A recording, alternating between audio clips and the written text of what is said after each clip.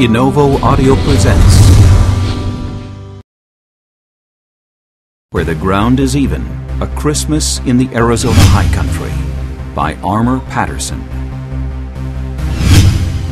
In Where the Ground is Even A Christmas in the Arizona High Country, three Navajos ride from the east toward a white man's world of which they are suspicious.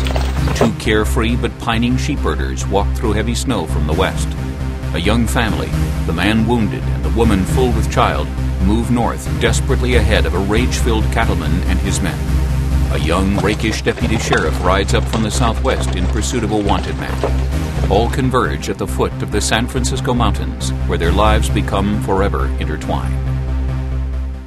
Where the Ground is Even, A Christmas in the Arizona High Country is available through Innovo Publishing and fine bookstores everywhere.